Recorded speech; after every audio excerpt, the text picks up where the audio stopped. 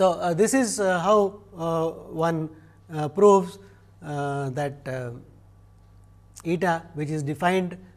so, eta which is defined as eta of a rectangle equal to a cross rectangle a cross b to be mu of a into mu of b is countably additive.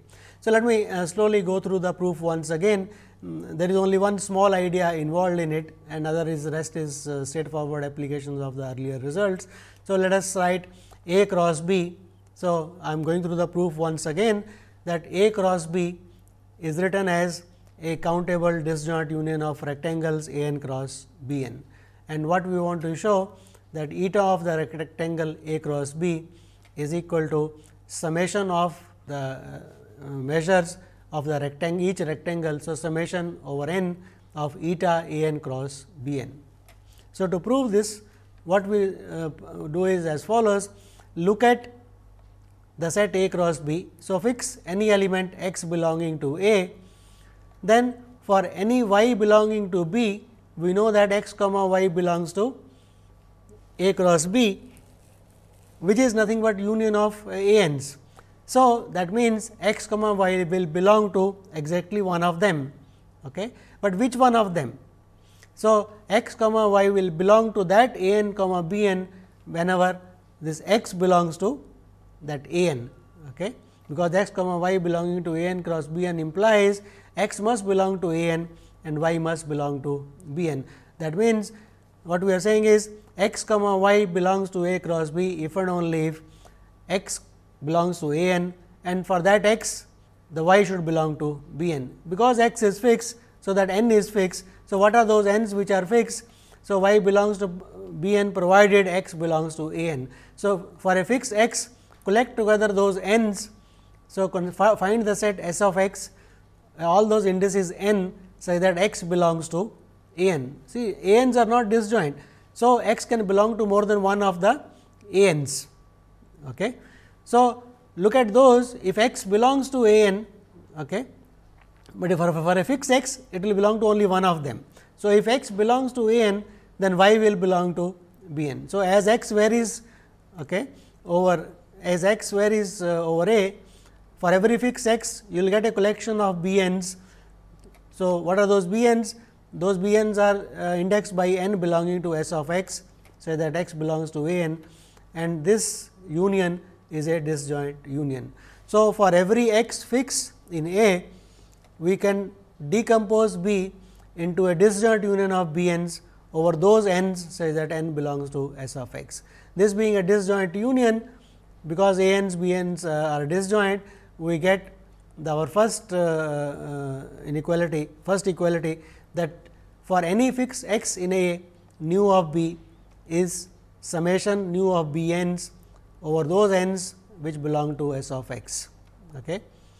And now, we observed that equivalently this thing I, we can write it as nu of b I can multiply it by the indicator function of a right because x belongs to a. So, this will be equal to 1 and this nu of b n okay, I can multiply if x belongs to a n that means, n will belong to s of x. So, I can multiply here by the indicator function of a n if n belongs to s of x and if if x does not belong to um, a n that means, it cannot belong to any one of the a. So, this all the remaining terms here will be 0 and all the remaining this side is also equal to 0. So, what we are saying is uh, for any x in a I can write this is equal to this and this equation makes sense whenever x does not belong to a also, because if x does not belong to a this side is equal to 0 and that side uh, Uh, x does not belong to a. So, it does not belong to any one of the a n's. So, all the terms are 0. So, this equation first we can write it as indicator function of a times x nu of b is equal to summation of chi a n's and now we realize that not only this equation is valid for x belonging to a, this equation is valid for all x uh, in x. So, once that is observed, so that is what is observed here. So, what we get is that the equation chi of a x nu of b is equal to um, the summation chi of a n nu of b n for all x. And now this is the equation about non-negative measurable functions.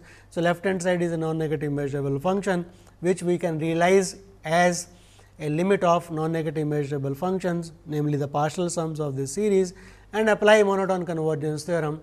So, that will give us that the integral of the left hand side is equal to summation of the. So, I can take the integral sign inside by monotone convergence theorem and say that integral of uh, chi a x nu b d mu y is nothing but integral of the summation. And so here is the application of uh, the monotone convergence theorem. I can take this integral inside. So that is equal to summation of integral of indicator functions. And now it is just matter of writing down the values of this nu of b n is a constant so goes out so this integral is nothing but mu of a n so and that nu of b n and the left hand side uh, this was uh, integral of chi of a nu of b, nu of b is a constant. So, that is integral of mu of uh, chi of a with respect to mu. So, that is mu of a. So, that gives us that eta of a cross b is equal to uh, summation eta of a n cross b n whenever a cross b is a disjoint union of rectangles.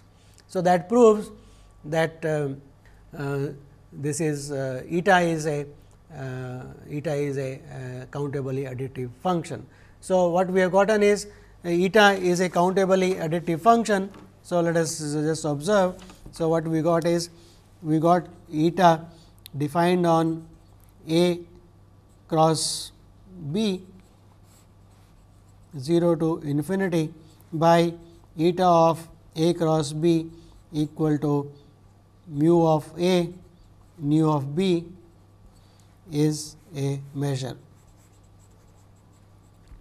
We got that this is a, a measure on the semi algebra. So, this is important on the semi algebra A times B. So, implies by our general extension theory via outer measures and so on, we can extend, we can define eta tilde on a times B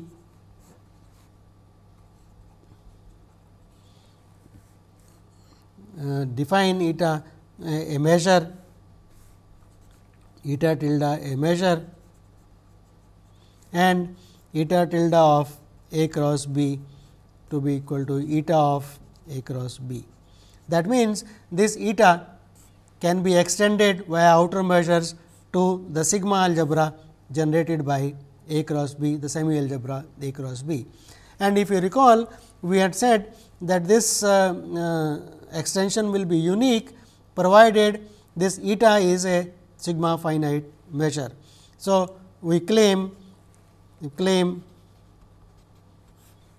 eta is sigma finite if mu and nu are sigma finite. So, we want to show next that if a and b uh, if mu and nu are sigma finite. So, let us assume. So, if mu sigma finite. So, that implies I can write x as a disjoint union of sets x i 1 to infinity each x i in the sigma algebra A and mu of x i finite for every i. And similarly, nu sigma finite implies I can write y as disjoint union of sets y j, where each y j is an element in the sigma algebra B and nu of B j is finite. But then the, this implies we can write x cross y as disjoint union of x i's cross disjoint union of y j's. And now, it is just a simple matter to set the uh, inequality equality. Namely this is same as the unions over i unions over j of rectangles x i cross y j right? Because if x comma y belongs here that means x belongs to the union x i's and y belongs to union y j. So, that means x will belong to only one of x i and only to one of y j. So, it will belong here and conversely. So, this is a disjoint union and now we only have to observe the fact that so x cross y has been decomposed uh, has been decomposed into a disjoint union of sets x i cross y j and we only note that eta of x i cross y j it is a rectangle. So, its measure is mu of x i times mu of y j and both of them being finite. So, this is a, a finite quantity. So, x cross y is written as a disjoint union of sets x i cross y j and each piece has got finite um, measure. So, that implies eta is sigma finite. So, the measure eta is uh, sigma finite on the rectangles and hence has a, a, unique extension to the sigma algebra. So, this is what uh, we wanted to prove that uh, eta uh, that extension uh, is also uh, sigma finite. So, general extension theory gives me a unique. so, that mu and nu are sigma finite. So, that implies x is a disjoint union, y is a disjoint union. So, we can write x cross y as uh, a disjoint union of the rectangles x i cross y j that is what I just now illustrated and each piece has got a finite uh, measure. So, by that process we get a uh, eta is sigma finite on rectangles. So, by extension theory eta can be extended uniquely. So, that is an important thing eta can be extended uniquely to a measure on a uh, on the product sigma algebra. So, that for rectangles it is the uh, product. So, this is uh, the measure uh, eta uh, which is defined on A times B on the product sigma algebra is called the product uh, measure and is normally denoted by uh, mu cross nu. So, uh, so let us uh, uh, summarize what we have done. Uh, we started with the two measure spaces x a mu and y b nu and for the product set x cross y we first define the rectangles namely sets of the type a cross b where a belongs to the sigma algebra a and y belongs to the sigma algebra B. So, that gives us sets of uh, uh, subsets of x cross y called measurable rectangles. They only form a, a semi algebra. So, we extend uh, uh, we generate the sigma algebra by this semi algebra of rectangles and call that as the product sigma algebra denoted by A uh, with circle cross uh, A times B. And now, given measures mu on the sigma algebra A and a measure nu on the sigma algebra uh, B, we want to define a measure on the product sigma algebra. So, that is done uh, by defining uh, the product uh, for a uh, defining the, the, new measure first on rectangles. So, eta of the rectangle A cross B is defined as the product of mu of A and nu of B and we show that this is a um, measure. So, this becomes a measure on the semi algebra of rectangles and if it is sigma finite that means, if we assume that the given measures mu and nu are sigma finite then this extends uniquely to a measure on the product sigma algebra A cross B and that uh, measure is called the uh, product uh, measure product of the measures mu and nu. So, given two measure spaces x a mu and y b nu which are sigma finite, we get the product measure space x cross y, the sigma algebra A cross B generated by the rectangles and the product measure mu cross nu go obtained via the extension theory. So, this is uh, uh the product measure space uh, constructed as just now said. So, now uh, the next problem we want to analyze is the following namely this product measure mu cross nu that we have gotten okay, is obtained via extension theory, but it does not tell us how does one compute the product measure mu cross nu of a set in A cross B. So, that uh, is not uh, uh indicated because we are making use of the extension theory. So, next problem that we want to analyze is the following. So, namely, so we have got the product measure space x cross y, the product sigma algebra A times B and the product measure mu cross nu. So, let us take a set E contained in x cross y which is of course, E is an element in A times B. So, mu cross nu of this set E is defined. So, the question is can we compute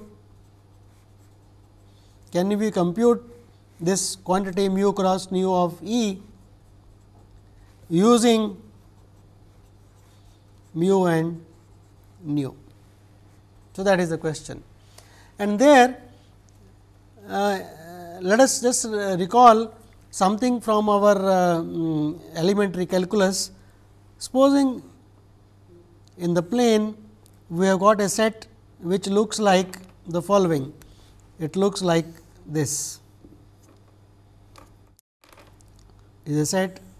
So, this is a set E which looks like the following namely here is a point A and here is a point B.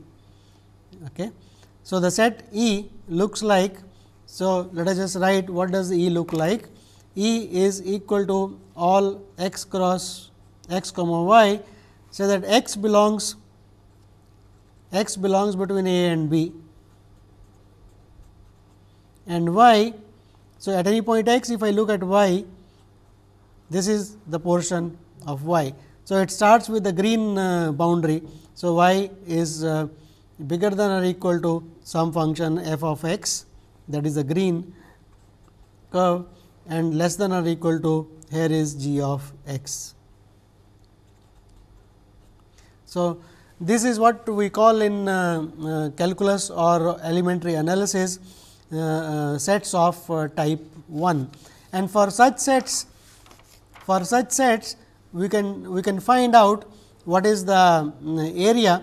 So, area of the set E if you recall from calculus it can be obtained as you look at this difference height what is this uh, what is this height. So, that is nothing but g of x minus f of x and integrate that from a to b dx. So, Riemann integral as an application of Riemann integration we do that we define it equal to this.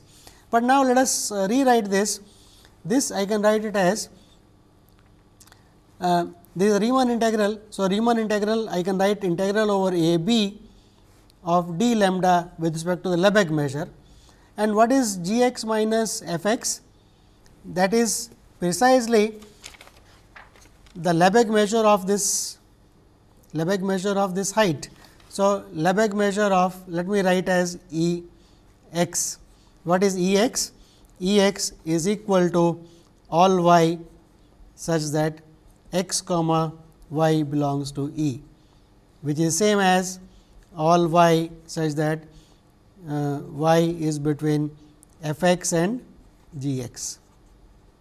Right. So, that set I am writing it as follows. So, I am writing as Lebesgue measure of a notation called E x.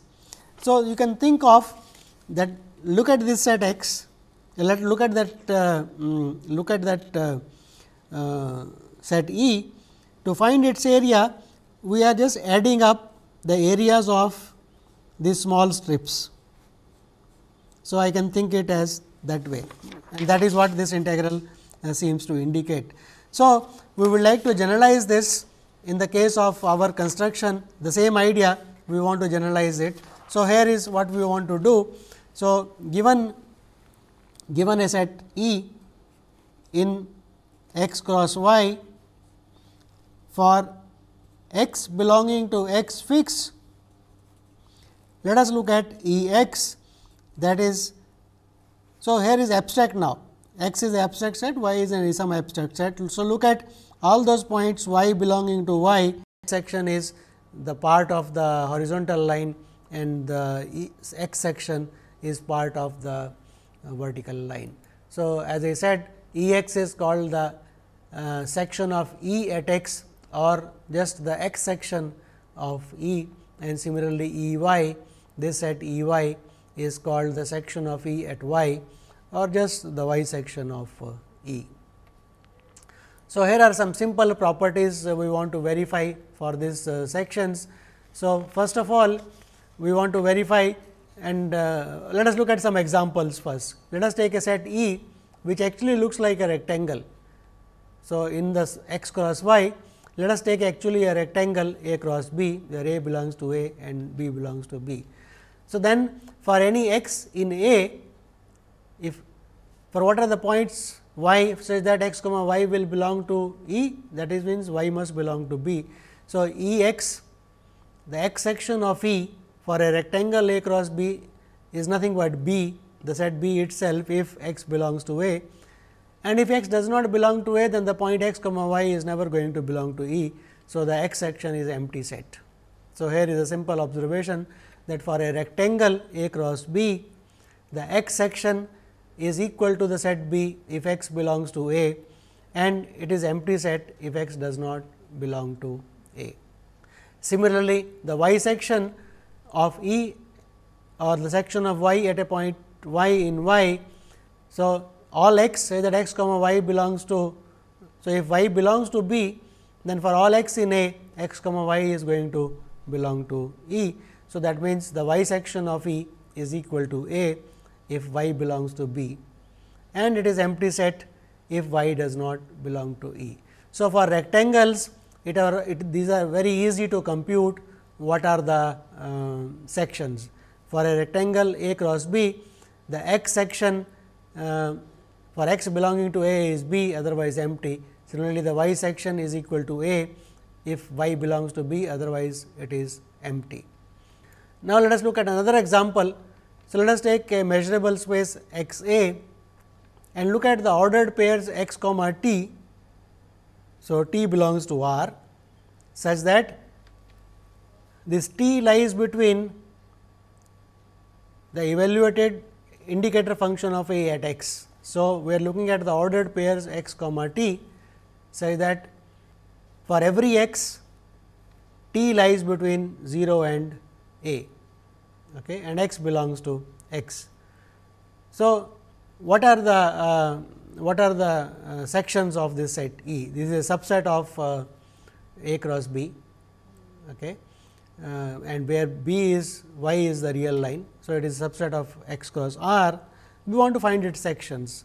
So, let us observe that for a point x in A, if x belongs to A, then this indicator function of A the value will be equal to 1. So, t will be between 0 and 1. So, if x belongs to A, then t will be between 0 and 1. So, the section is going to be the interval 0 1 and 1 not included and if x does not belong to A, if x does not belong to A, then this is going to be 0. So, t is going to be the singleton 0.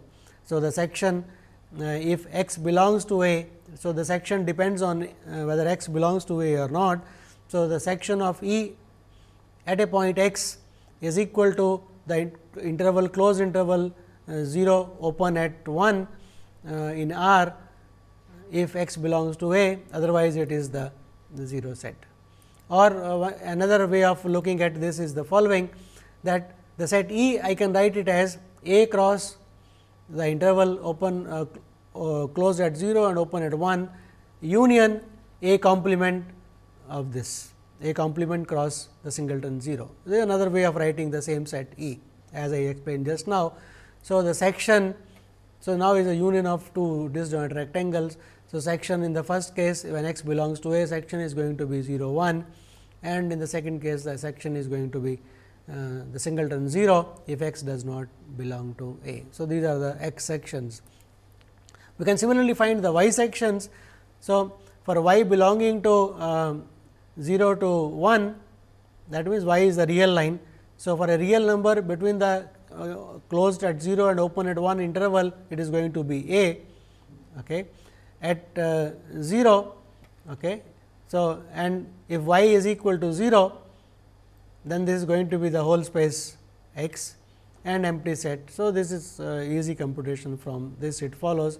So, this is how one computes the sections of uh, these sets. So, uh, these sections are going to play important role uh, in computing the measure of a uh, set E in the product space. So, in the next lecture we will analyze uh, the x sections, the y sections, various properties of these sections under complements, intersections and unions and then show that each section for a uh, uh, set E in the product sigma algebra, each section is again a uh, appropriately measurable set whose measure can be defined and then you can take the measure of that and define the um, functions and compute the integral of the product uh, set uh, product uh, compute the product measure of the set E. So, we will continue the study of sections and their implications uh, for product measures in the next lecture. Thank you.